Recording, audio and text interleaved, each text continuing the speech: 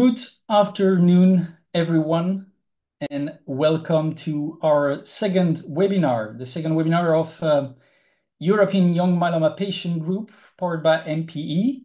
And we have today a very interesting topic, which is nutrition. Before we are getting there, allow me to uh, spend a couple of minutes to uh, give you an idea on the uh, agenda of the next uh, 60 minutes that we'll be spent together. Um, you will firstly have to listen to me for the five about five minutes, and afterwards, I will give the word to our speaker, to our special guest today, um, who will give you an idea on the importance of having a good nutrition for us, for the youngest myeloma patient. Um, the speaker today will be Inês Almada Correia from Portugal, and she is a nutritionist specializing in oncology and autoimmunity. Um, at the very end of the presentation of Inês, we'll have uh, the question and answers. I will come back uh, a little bit later on uh, on how you can ask your questions, and we will be closing around 5:00 P.M. Central European Time.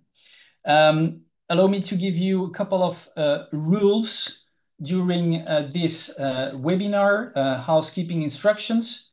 You will be able to hear and to see the presenters, but you won't be able to hear the other attendees during this webinar. Um, for the questions that you may have, and please ask your questions, you have the possibility to do that at the very bottom of your screen with the Q&A uh, button, and you can uh, post your question there. Shouldn't you have or shouldn't you want to give your name, you can uh, do it anonymously as well. So that's for the question and answers. Um, on the other hand, you have also the possibility to have a chat with us or to a very particular persons. You can choose to have the chat with everyone and/or to have a chat with one uh, person in particular in our uh, webinar. But again, please, for the questions, use the question and uh, answers. Should you have any trouble with video or audio, please put it on the chat and someone from MP will join you to help you there. Um, this webinar will be recorded, so you will be have uh, the possibility to uh, review uh, this um, this webinar afterwards. And it allows me to remind you, shouldn't you have been there for the first webinar we had a couple of weeks ago, go to our site and have a review on the very first webinar we had a time ago. Um, very quickly, for the people who shouldn't have been there before, um, EYMPG, who we are or who what do we want to do and to uh, to have as a aim, as a goal. Um, we want to um, meet the the the needs specifically for the young myeloma patients in terms of work, in terms of sports, today in terms of nutrition, very specifically. How does it work? Um, the group will host a quarterly uh, webinar, just like we have today, and the topic will be chosen by you. So we will uh, post a poll uh, in the next few weeks, and you will be able to choose for the most important topic that you want us to tackle, and we will find a specialist um, to give you an idea and to give you a webinar around the topic that you've chosen. So this group um, is um, mainly for uh, the patients under 55 uh, years and uh, patients of myeloma, of course. That's um, what we're and what we aim for. So today, we will have um, Inês Almada Correia as a speaker. Um, she is a clinical nutritionist specializing in oncology and autoimmunity. So just what we wanted to to have with with us, and it's a very very big pleasure and honor to have Inês with with us today. She holds a postgraduate degree in nutrition, and afterwards, she had a master in biochemistry and biomedicine. And as we speak, She is pursuing a PhD in dedicating integrating the latest scientific research to help people like we, to help um, um, the, the, the cancer patients and the uh, myeloma patients, um, and, and, to improve the quality of life. So um, again, very, very big pleasure and honor to have you, uh, Inês, with us. Thank you, and the floor is yours. So I was thanking you for the, the introduction and for the invitation to be here with you. So I've structured um, my presentation having into consideration some of your uh, some of the questions you've you've sent but i really thought of it more like a conversation. So if you have any further questions please please feel free to to ask them. Oh. yeah. So i will start by saying that contrary to what happens with um, several other oncologic diseases for multiple myeloma, the only lifestyle factor associated with an increased risk um, that has been identified is obesity. And when we think of obesity, we frequently think of high body mass index or high weight, but actually what we should be thinking about is high adiposity, so high percentage of fat mass. And why am I saying this? Because we can have two different persons one have uh, is an athlete and the other one is a really sedentary person that spends long hours at the computer uh, orders all the groceries uh, online uh, and get them delivered uh, at home uh, goes to work by car.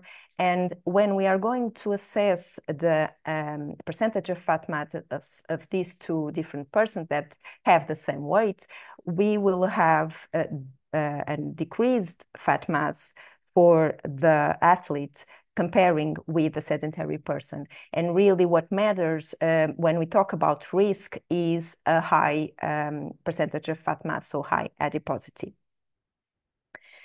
Um, and one more thing is that it's important to think of this like a risk factor, but it's also important to think of it like uh, an important factor to have into account after the diagnosis. So talking about the nutritional status, um, it reflects a balance between the intake of nutrients and the capacity of the body to use these nutrients. And frequently, myeloma patients have um, an alteration in the nutritional status that is both associated with the disease, but also with the treatments. And for this reason, it's really important to have nutritional support uh, since the diagnosis because it's um, very, very well known that will improve the nutritional status of the patients and with this improve immune function, quality of life, and ultimately survival. And when we think of nutritional status and uh, improving nutritional status, we we should be thinking of having and searching for a nutritionist or a dietitian, uh, depending on the country you're at. The names may, dif may differ, but um, you should ask these professionals to help you uh, manage all the, the situations you are, we are going to, to talk about further. So um, this it's really important to have a nutritionist or a dietitian integrated in um, your multidisciplinary care teams.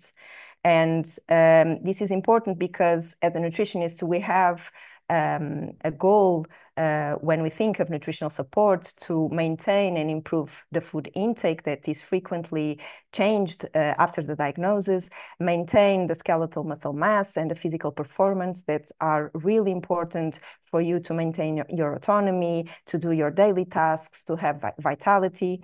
Um, it's also important to reduce the risk of having to uh, decrease or interrupt the scheduled treatments and also will have an impact um, in improving quality of life and survival. One other dimension in which a nutritionist intervenes in, is in the management of complications um, that are associated with multiple myeloma. And these are some of the most frequent complications, um, anemia, renal dysfunction, decrease in bone density, changes in immunity, but also hyperglycemia, for example, if you're taking uh, corticoids And to minimize the impact of these manifestations, we can have uh, we can think of some uh, dietary strategies. So, for example, for anemia, and it's important to highlight that anemia in multiple myeloma is not due to a decreased intake of iron, uh, dietary iron. It's uh, due to, um, it's a consequence of the disease, but we can um, give uh, what the body needs uh, and improve the iron intake for the body to have the nutrients uh, it needs for um, to perform its functions. So thinking of anemia, we can increase the intake of iron-rich foods such as legumes, green leaf uh, vegetables, uh, meat, and nuts. Uh, if you're taking calcium supplements, um, you should take them before or after the meals because they can interfere with the iron absorption. And um, for renal dysfunction, for example, we should decrease the intake of salt. And um, you can flavor your meals uh, using herbs, for example, or spices. Um, you can also, it's really important to keep hydrated um, and to maintain a diversified diet. Um, adequate protein intake is also uh, really important. It may be needed depending on your renal function to um, adapt the, um, the intake of protein, but once more, a professional uh, will be able to assess that and give you the best recommendations. For uh, decreased bone density, um, it's uh, also important to maintain a diversified diet, but we can think of uh, nutrients such as calcium that you can uh, find in dairy, in sardines if you're in Portugal, or if, you have access to, to sardines, uh, cabbages. Um, we can also think of magnesium, really important also, uh, and present in uh, cereals, legumes, um, also dairy. Um, for bone health, vitamin D uh, is very, very important and also physical activity, but I will talk a bit more about physical activity at the end of the presentation. Um, so for changes in immunity, um, an adequate protein intake is really relevant because the immune system needs protein to maintain its functions. Um, keep hydrated and once more, a balanced diet, um, it's uh, also important. One other um, important uh, situation to account for are the secondary effects um, that um, are due to the treatments and can also seriously affect the nutritional status of the patients. And the most common are uh, anorexia, nausea, constipation or diarrhea, fatigue, um, and neutropenia.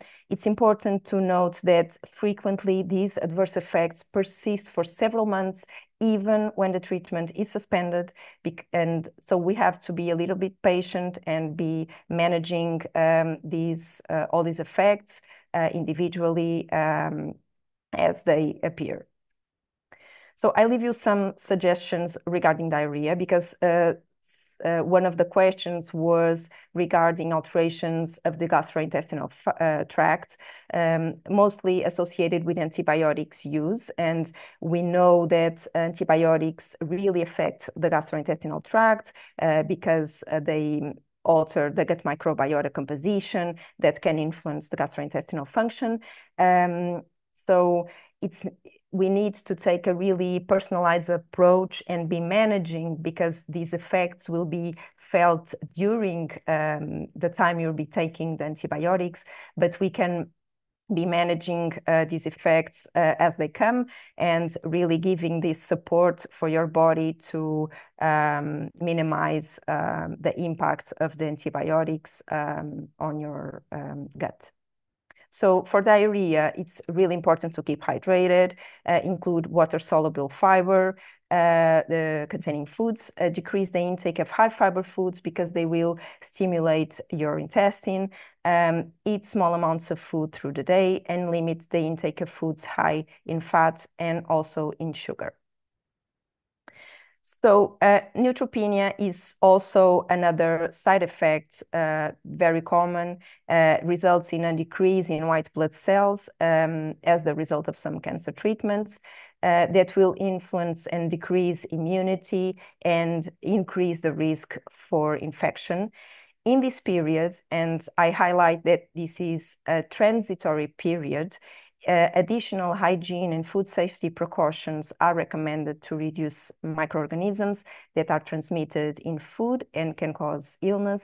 Uh, also, um, because there are changes in the gut lining uh, that increase the potential for higher gut permeability, leaving you more susceptible to, to develop these, these conditions. So it's really important to focus in these uh, hygiene measures more than thinking about limiting certain foods. But uh, so it's important to wash your hands thoroughly before preparing the meals, uh, protect exposed wounds, uh, correctly clean the surfaces um, and utensils uh, you'll use, and do not allow raw and uncooked foods to mix. If possible, use different chopping boards. Um, thinking about your fridge and your freezer, it's really important to maintain a, a stable temperature. So um, I leave you here the, the optimal uh, temperatures uh, for each one of them. Uh, so never overload your fridge or freezer to avoid increasing its temperature. Uh, defrost uh, the food in the fridge and not at room temperature. Avoid free thaw uh, cycles. When shopping, buy chilled and frozen foods last and avoid bruised fruits and vegetables or damaged packages. Also check the use dates and best before dates before using, um, before uh, consuming your food uh, and follow them. But there are some times that we really need to think in avoiding some um, some foods, and it's really important to once more um, think of it like a transitory period um, and when neutropenia passes, you can um, again not don't be so worried about avoiding these uh, these foods, but to avoid um, unpasteurized unpasteurized uh, cheeses and milk, probiotic drinks and yogurts or supplements, loose bought cereals or nuts because we don't know um, for how long they're in the jars. Um, raw or partially cooked eggs, damaged brewed or bruised fruits and vegetables, smoked fish, raw or undercooked meat. So you should see if there's a little bit of blood in the middle, you should cook it a bit further.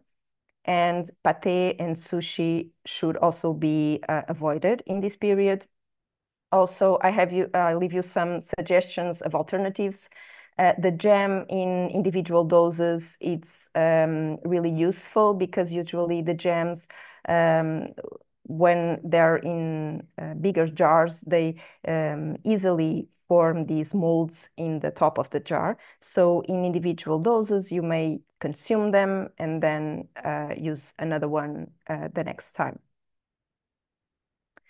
So is there the ne a need for a special diet um, in multiple myeloma? So I would say that there's the need for a healthy diet and there's a difference. Um, so some of your questions were around um, the, the need for a low sugar diet, for example, or a raw plant-based diet.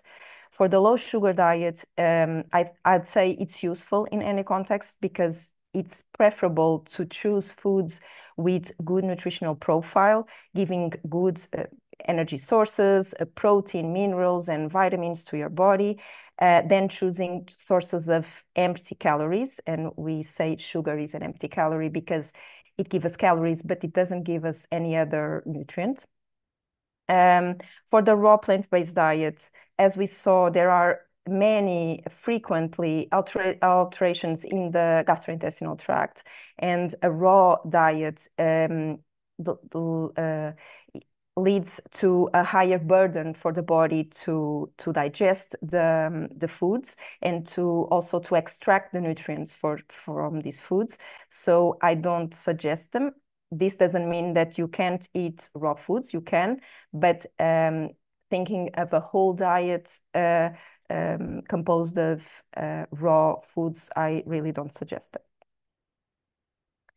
so the dietary pattern that is, has really been studied and has been showing uh, to have uh, several benefits in uh, many contexts, and um, it's also known to improve gut health, is the Mediterranean diet. So I leave you here the representation of uh, what this uh, is, this dietary pattern.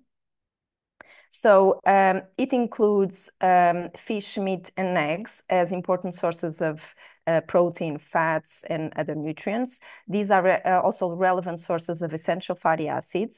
They be, should be consumed in a minimum of two portions of fish and seafood, two portions of white meat, and two to four portions of eggs uh, weekly. The intake of red and processed meats should be limited to a weekly maximum of two portions and one portion respectively. So then we have cereals that are uh, excellent sources of energy, have a high content of B vitamins, are sources of fiber and minerals. They should be included in your meals, one to two portions in each main meal. And if your gastrointestinal tract allows it, you should prefer um, whole grains. Then we have uh, dairy um, that are really good sources of protein and minerals such as calcium and vitamins. Um, they um, are part of this dietary pattern as um, uh, two portions daily. And then we have the fruits and vegetables, the well-known five a day, uh, that are really good sources of fiber, minerals, vitamins, and antioxidants. Um, we should uh, have an intake of five portions of vegetables or fruits um, daily. Uh, we have spices that are really great options to reduce salt, uh, and you can use them freely. And uh, we have nuts that are essential sources of essential fatty acids, fiber, vitamins, and minerals. And if you can, and if you like them, you should also include them in your um, uh, diet, one to two portions a day. And then we have the olive oil that should be the main source of fat. Uh, it's a good source of vitamins A, D, E, and K, of monounsaturated fatty acids, and has been associated with cardiovascular disease prevention. So it's also a really good option. And at the bottom of the pyramid, we have all these interesting images that represent all the activities that should also be involved in this dietary pattern. Things like sharing your meals with your family and friends, um, cooking instead of uh, choosing pre-prepared meals, um, adequate rest, um, so having enough sleep and uh, physical activity. And talking about uh, physical activity, um, it's really important, as I said um, before, because it's associated with improved quality of life. Um, patients who do regular physical activity usually report better global quality of life and reduced fatigue and disease-specific side effects. Um, but besides, uh, but uh, although these are really uh, good effects, only one in five people with multiple myeloma have um, reported previously. This was a study done in 2020. Um, have reported to meet the World Health Organization physical activity guidelines. And what the studies show us is that uh, patients really want to do physical activity frequently. Hematologists have are a real uh, a bit afraid of prescribing it, but there are as we have nutritionists for nutrition, uh, there is um, also there are also professionals that study uh, physical activity and exercise uh, in this context of um, oncology oncologic diseases, and that will uh, be um, uh, the perfect um, team member to also integrate in your uh, care team and to to help you choose what's the best um, exercise and the physical activity you'll be it's best for you. So it is safe uh, it's really important and it has several several of benefits. And then we have supplements. So I think this is a really uh, important and interesting uh, theme but it's a really wide theme. And I think it would probably take us another workshop to get in depth into this. Um, because as you can appreciate, when we think of supplements uh, and when we say supplements, we are including a wide a wide range of products such as probiotics. We have phytotherapy, we have vitamins and minerals.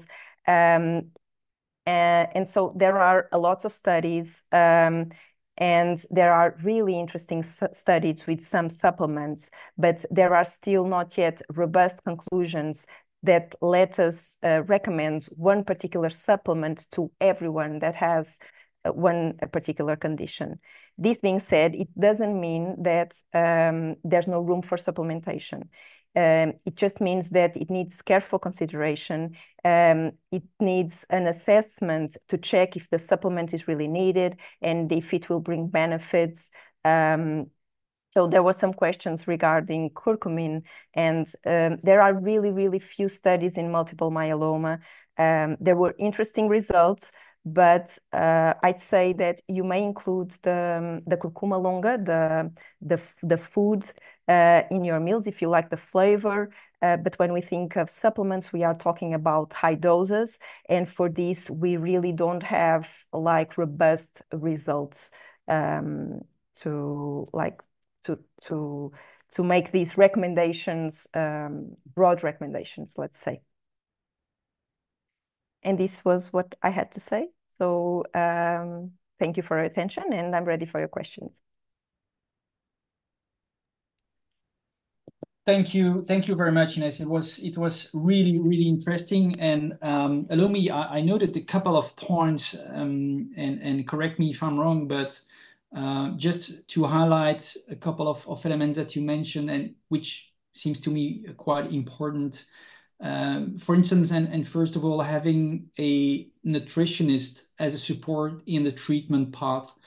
I know this is not um, uh, so evident in every single countries because uh, and, and in every single uh, hospital. So it, it may be a challenge for uh, some of our uh, young myeloma patients, but if we have the capability to have that in our country, if we have that in the in in in the hospital, very important to have support yes. from from that side as well. Um, so uh, it, it it's a very important one. Um, what I noted as well is the variation in in our diets, so uh, very important and um, for sure um, preferably Mediterranean. So um, yes we will try to uh, to do so in northern countries uh, will be challenging as well but uh, yeah again, but um... you have sorry yeah you have in the, the northern countries you have so this is a pattern it's not sure. to follow like but you can uh, have um, to choose you you can choose to have vegetables in your plate. You can choose to have fruit. You can choose to have nice uh, good protein sources. And this is what is essential. Not uh, um, so much following that really Mediterranean uh, purely because other countries don't don't have all the all the the foods, uh, for example, but really make the adaptations. And I believe that each country can have um, a similar pattern that uh, will also have the same benefits. Exactly. Exactly. Yeah. Um, I noted as well uh, calcium before or after meals. Uh, yes, it was um, uh, protein for immunity. Um, I, yeah. I, noted as well, and um, maybe just uh, allow me to to ask a question uh, on, on, that one. Our immunity is still uh, under pressure, uh, but for sure now we're coming in the month, let's say October until February, which the immunity is uh, much more under pressure than than the rest of the period. Um, do you recommend something specifically during this period to to uh, to pass through um, the, the, the, these winter months? No, really, what what we know is that maintaining a good um, nutritional status is what gives us a good immunity. So I'd say like have good meals and uh, don't skip your protein because frequently when especially when we have a little bit of less uh, appetite we frequently like at least in Portugal, it's, it's that way. We um, we use like a soup as um, a dinner and uh, nothing else, and that's not sufficient. So you should uh, include protein sources in each of the main meals uh, at least. So breakfast, uh, lunch, and dinner, and don't skip that. Right. And um, other, uh, the other thing is obviously uh, vitamins with fruits and vegetables as much as you can. Sure. Sure.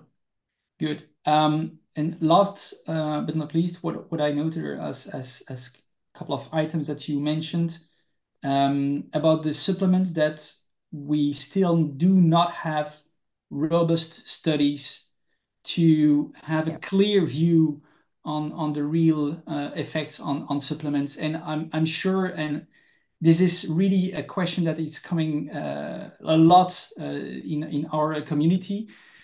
So uh, yeah, maybe we should have a specific session around uh, supplements, but uh, it's it's important to know that that we don't have today robust studies yeah. correlated to multiple myeloma. This is this is what I I learned today, and thanks for this this feedback, uh, Inês. Yeah, I, I, I'd say that even for other more frequent um, types of cancer, there's still a lot of uh, not so robust um, studies because they're difficult to to do. Uh, you have to have um, to control uh, several factors for the results to to be able to be associated with the intake of that specific supplement. So they're really difficult to do. And um, obviously, for more frequent types of cancer, some um, nutrients are a bit uh, better well studied, but there's there's we still need a bit more uh, to to go. Great. Um, a few questions from the um, uh, participant from the audience, and uh, let's start with the question from uh, Eva. And we we were talking about uh, supplements. She had a very good question about the muscle cramps uh, because excuse me, this is something we didn't uh, touch base during the the presentation. Um, yeah. She, she said is attributed to lenalidomide. So I, I guess this is not really neutropenia, but it's more muscle cramps. So do we have, do you, do you hear something like that? And do we have something Yes. that we could uh, potentially uh, propose? Uh, muscle cramps are really, really common. Um, and to sometimes they're just a consequence of the treatment. And um, even if we, if we think of a sup supplement of magnesium, and we can think of that um, really assessing if there's a need, uh, we can like do blood uh, analysis to, to see if there's um, a decrease in magnesium, for example, and assess if there's a need for supplementation.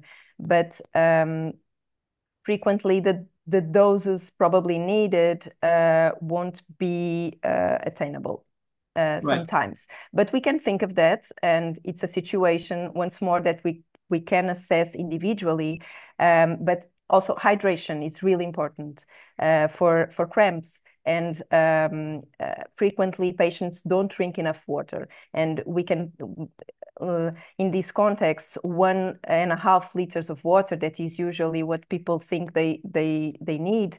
Um, it's not sufficient. So, uh, especially during treatments, um, you need a higher intake of water, like two, three liters, even sometimes. So you also uh, may think of that and also movement uh, because if we are a lot uh, a lot sedentary the muscles tend to don't have these enough uh, blood um, circulating to to to feed them right. so yeah okay.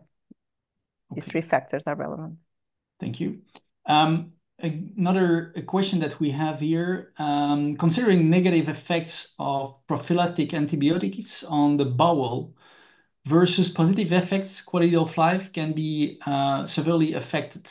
Is there any evidence of the benefits of the use? Of antibiotics? Yeah.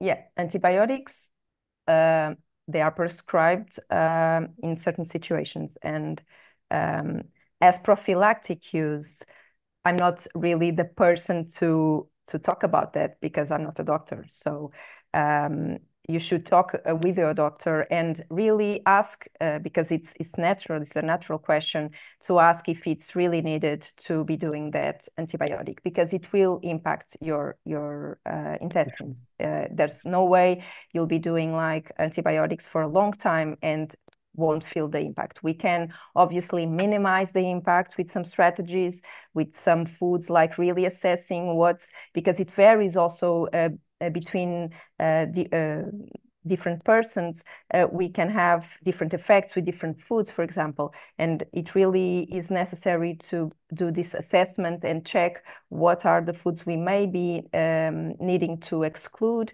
and what we can, what foods we can uh, choose to to substitute them with. Sure.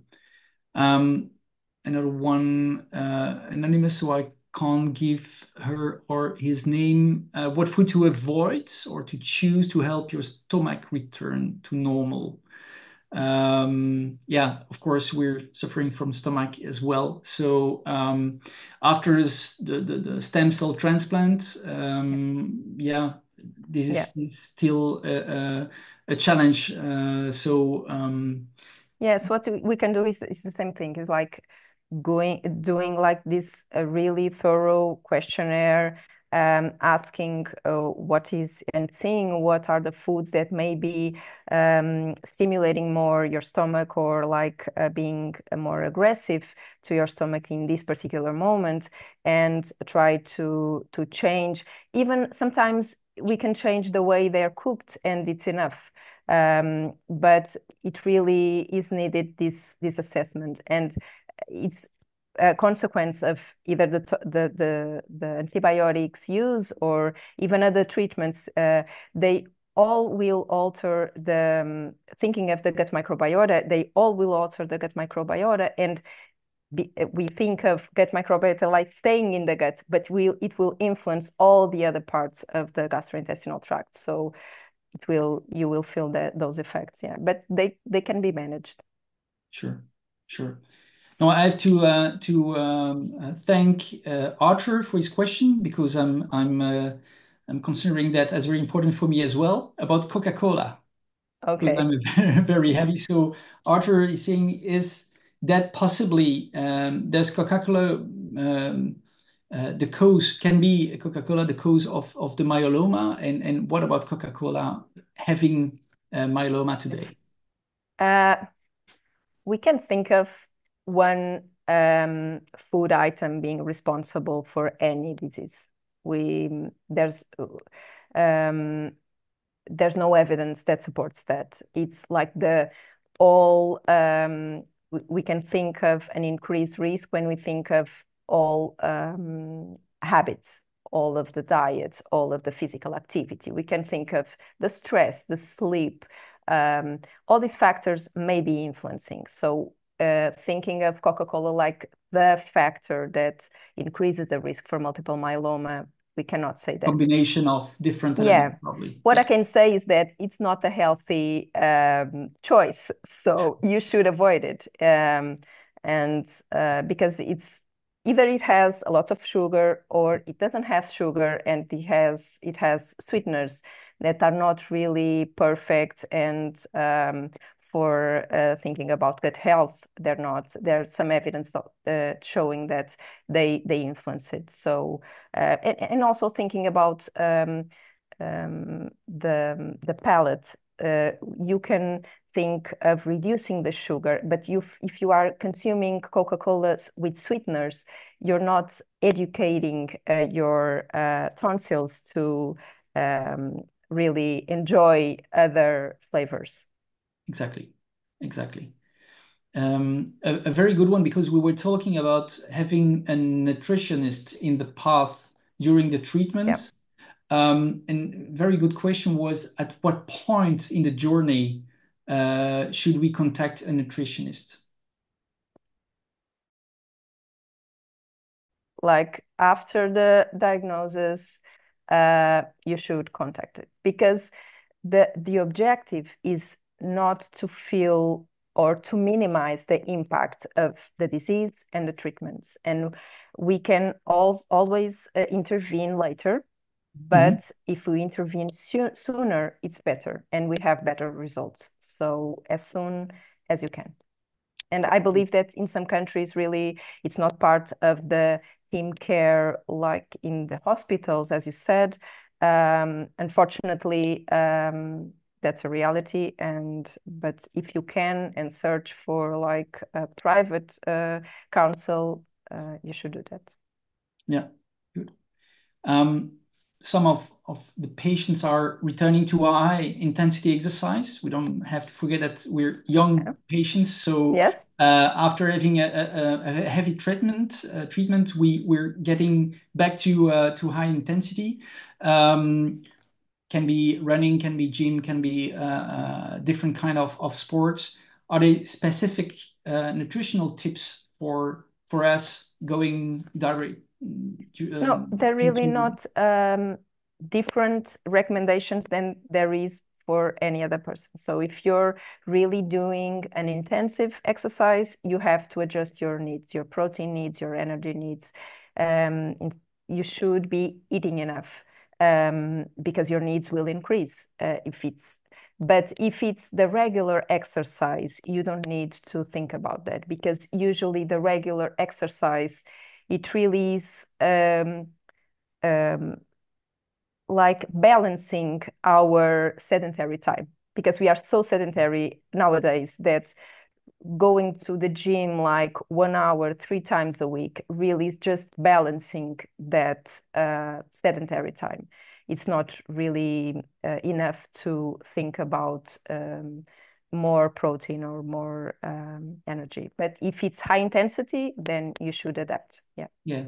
Okay. Definitely. We spoke uh, to on on the winter period, but um, specifically if if a patient is going into a a, period for a risk of high infection, uh, not not really in winter, but uh, across the the treatment, if if the patient is becoming into a a, a risk infection uh, infectional period, should he change the diet or or being careful for something?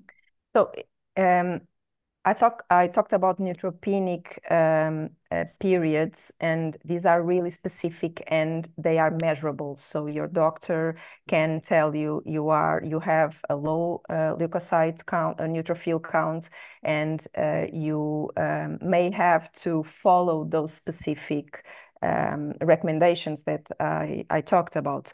But uh, mostly you should be careful, like uh, really uh, with the hygiene uh, of your um, um, kitchen, of your uh, foods uh, when you prepare them, and um, essentially don't eat undercooked um, meals. Uh, really check if the meat is really cooked well and uh, have that that in mind. Um, but the other recommendations are also valid for these specific periods that you have a low neutrophil count. Um, besides that period, the usual um, safety precautions are are Mhm. are okay. Okay. This is also uh, something that I'm I'm I'm, I'm hearing uh, a lot. A question about green tea. Uh, Aryan uh, asked the question, "What do you think about drinking?" He said a lot of green tea, and of course, high quality green tea. Uh, so, what Yeah. what's your point of view on that one? Uh, so we don't have. Um, I think I saw one study um, that really briefly talked about green tea in multiple myeloma, but like it's one study and um, it, it didn't include um, high intake of Mhm. green tea. So um, I believe y- uh, you should moderate the intake for precaution because we don't have this um, reassurance that, and the danger is not to to do harm uh, per se, is to be influencing the treatments you're doing if you're doing them, um, and because um, like we can have some supplements that are okay if you're not doing a treatment, but if you're doing the treatment, it may be uh, we may be uh, uh, in the risk of uh, influencing this treatment, and we don't want that either by increasing toxicities or uh, decreasing the effect. We don't that want that, and we can't measure really that because uh, the we are not assessing the effect, and we can't do that uh, even if uh, assessing the effect at each time to see uh, what is doing. Usually, we can see if the, the treatment worked or didn't work. So as a precaution, I'd say um, moderate the intake. It's better. uh, because we don't really have these robust. Uh, yeah, sure. If any, in yeah. multiple myeloma, if any. Yeah. yeah. And also in terms of of kidney uh, kidney functions, it doesn't have any impact on on on the kidney, or do you have tips for proper kidney functions? Uh, something that can help the uh, next to water, of course, but yeah. Um, yeah, water and uh, really assess if uh, there's a need to uh, moderate the protein intake if there is uh, an alteration, a significant alteration in the kidney function. Uh, the protein intake should be reduced, uh, but only in these situations. And reducing the salt is really important also. And always physical activity um, and uh, balanced diet. Protein is also important, but if you don't have to moderate it, you should have a, an adequate intake. Yeah. Of course. We saw the correlation with um, uh, internal fat and, and, and, and the risk factor of it. Um, so how about glucose levels and, and insulin resistance? Um, is it does it make sense to monitor the glucose and and uh, and to check what foods um, spike it? Yeah, I'd say if you reduce the intake of sugar as a principle, you don't need, and this is part of um, um, a good healthy diet. You don't need to have this special attention to the, um, the glucose um, uh, levels. Uh, because typically, uh, of course, if you're a person that eats a lot of pasta and you may have these increases or these peaks of glucose, um, but if you eat a diversified diet, like you should think about having at least half of your plate with leg with uh, vegetables and the other half like one quarter with protein and the other quarter with starch and and if you follow this it's a bit it's not very probable at at least uh, uh, uh, if you have a regular and you don't have an alteration in your glycemic um, profile um, to have all these spikes yeah. Um, and so i don't need I don't feel the need to recommend like uh, in general this um, this attention to this, but in some particular cases it may be useful. Um, we we would have to check that. Yeah, definitely. You touch base the the point of curcumin uh, specifically in in, yeah. in, your in your presentation uh, about supplements that there's no uh, no specific study on that one uh, because we we have again some some question about that. Um, but what what about curcumin and and maybe protein shakes after a workout for the the, the, patients who are getting into heavy sport and and and, and doing uh, so the proteins shakes are as well something that is uh, used after uh, after the sport and what do you yeah. think about that I don't, um, they're a tool uh, and can be used uh, if there's the need to.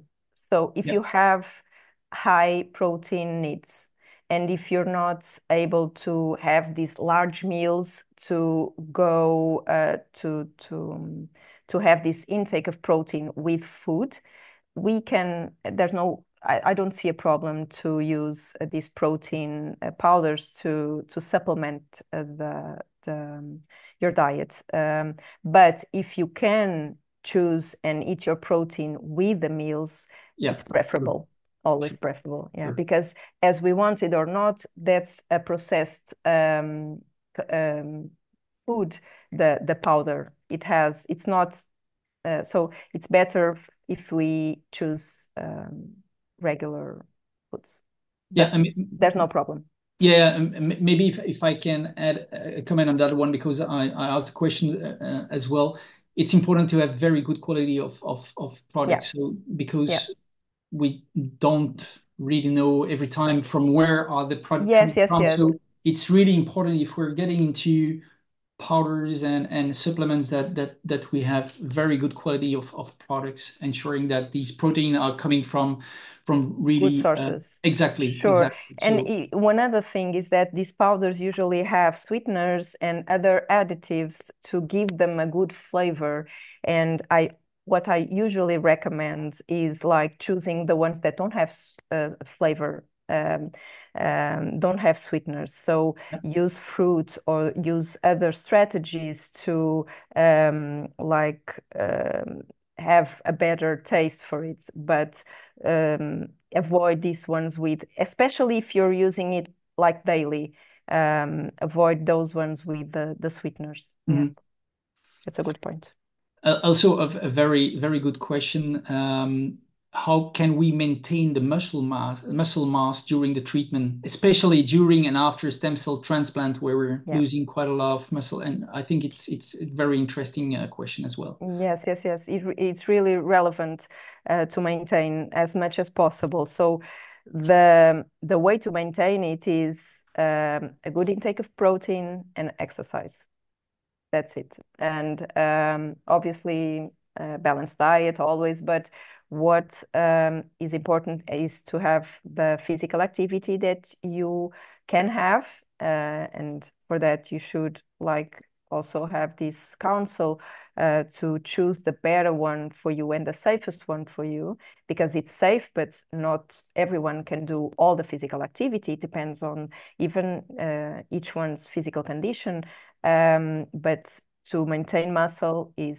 physical activity uh, especially uh, weightlifting that not always uh, everyone likes, but it's uh, really important, and protein intake.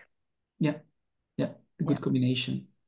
Um, what is your view between the animal proteins and and the vegetal proteins and and the balance of of it? And um, so it seems that it's important to monitor the the animal uh, proteins what, what we're taking, but less on, I mean, monitoring less the the the um, the uh, um, plant proteins. Mm-hmm. What what do you think about lentils, beans, for instance? Peas? Yeah, there no need. There's no need for um, monitoring the uh, animal protein sources.